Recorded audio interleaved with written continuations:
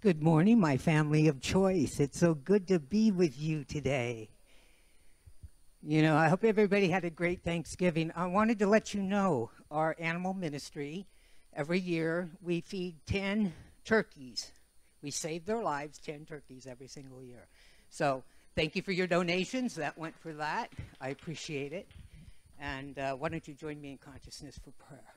So I always start just by knowing that it is not me that beats my heart. It is not me that breathes my body. It is a gift of life. And what I know is that there is only one, one power, one love, one life. And this life is full of abundance, of peace, of joy, creativity, beauty, the wisdom.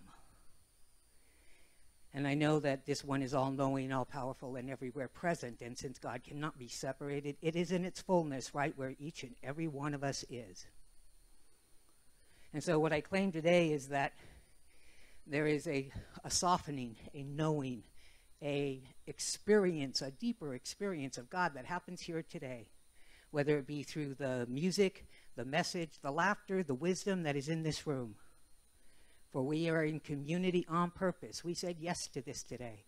So, with an open mind and a heart, I, I celebrate this day. I know the service is perfect, it is in divine right order and action. And I know that we lean into community, for we are here to love each other. So I, I, give great thanks for this, great thanks for this time together, great thanks for this expansion of love that happens here. And I simply release this word, I cast it forth. And if you are in agreement with me, please say with me, and so it is.